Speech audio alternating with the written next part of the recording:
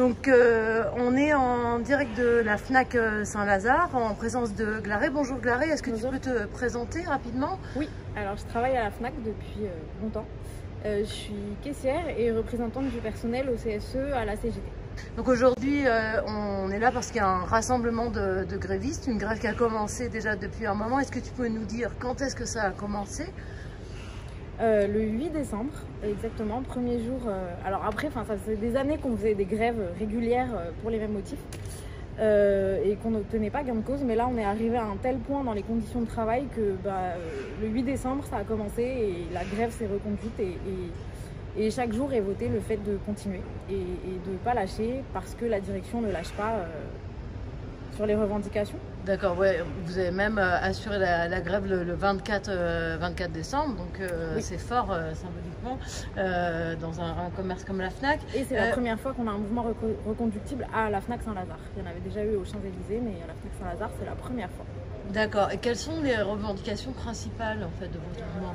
Alors les effectifs, première revendication, parce que charge de travail qui augmente et, et- et- et effectifs qui diminuent et, impossible de tenir. euh, physiquement, moralement, ça devient vraiment plus possible. Euh, ça, a commencé avec les libraires qui sont arrivés à un tel point de saturation que, que bah, juste ils ont dit stop. Et, euh, et voilà pourquoi ils lâchent pas aussi. C'est qu'on est vraiment arrivé à un point où ça devient très compliqué d'exercer son métier dans de bonnes conditions et ils ont été suivis par les disquaires, les, les gens de la vidéo, du service après-vente qui eux ne peuvent même pas prendre de pause euh, certains jours parce que euh, parce qu'ils sont pas assez nombreux. Donc, légalement évidemment qu'ils peuvent, mais ils veulent pas laisser leurs collègues dans, de telles conditions seuls au comptoir avec euh, une queue qui s'arrête pas. Donc euh, ils ne prennent pas leur pause certains jours.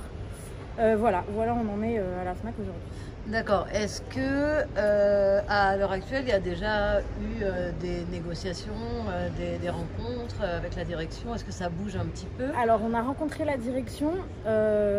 Concernant les effectifs librairies, ils nous disent que ils vont voir, ils s'engagent sur rien. Concernant les revendications des autres services, ils veulent rien entendre. Concernant la prime Covid, parce que c'est aussi une de nos revendications, euh, sachant que euh, y a des magasins qui ont été fermés euh, sur certaines périodes, d'autres qui ont été complètement ouverts tout le temps à partir du, du- du déconfinement du mois de mai euh, 2020 comme ici à Saint-Lazare. Et la direction a, mais alors la direction PDG Fnac Darty a refusé la prime Covid aux salariés sans même donner de, de- de justification. C'est juste, c'est non. Et voilà. Et alors qu'on travaille dans des conditions très difficiles liées à tout ce qui est mis en place depuis euh, et, et la peur pour certains de venir travailler et d'attraper le Covid et de le transmettre à leur famille. Ouais, on imagine bien. Euh, donc le, le mouvement a commencé à, à- à Saint-Lazare, mais je crois que ça a été repris dans d'autres FNAC. C'est quoi l'état actuel? Alors, notamment euh, le 23 décembre qui a été la grosse journée, euh, y a des, il y a- et, et aussi la semaine dernière, il y a eu un autre, une autre- un autre appel à gros rassemblement. Euh, il y a d'autres magasins qui ont rejoint le mouvement. Euh, on essaye de construire petit à petit sur chaque magasin. C'est pas forcément évident. C'est voilà, on est euh, aussi grâce à la réforme du CSE, quand je dis grâce, c'est ironique, moins de représentants du personnel, donc c'est pas toujours facile. Mais on essaye de, de faire quelque chose voilà, qui- qui prenne partout parce que les conditions sont à peu près les mêmes partout. Et, euh, et notamment partout en France, ça, ça avait bougé euh, le 24 décembre dans beaucoup de FNAC euh, en France. Ok. Et on voit à l'heure actuelle qu'il y a quand même beaucoup de mobilisation euh, sur des secteurs euh, du, du commerce euh, dans des lieux spécifiques. Donc là, il y a une coordination qui se fait entre les différentes FNAC de France.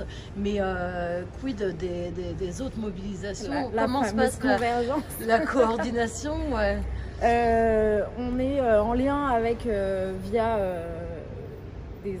notre organisation syndicale avec les monoprix, le printemps.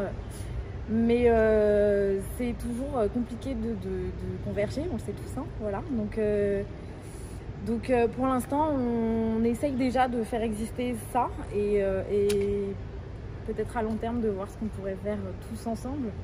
Ouais, évidemment. Et euh, en termes de perspective, il y a d'autres euh, rendez-vous à venir là? Alors on a fait une demande à la direction, on est toujours en attente de réponse, on n'a pas eu de réponse encore.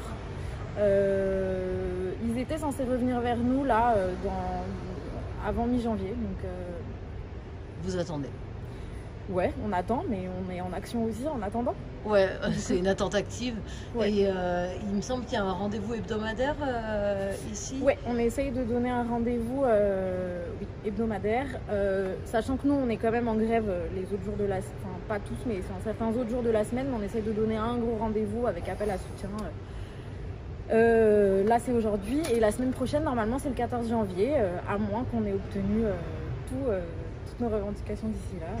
D'accord, bah on suivra ça de près. En attendant, force à vous. Merci Et à vous. puis euh, le prochain rendez-vous, 14 janvier. 14 à quelle heure janvier, ce sera vers midi, je pense, mais euh, je ne sais pas encore exactement, on vous dira. D'accord, à la la FNAC Saint-Lazare. Ça marche. Merci beaucoup, Claré. Merci à vous. Merci beaucoup. Bonne continuation.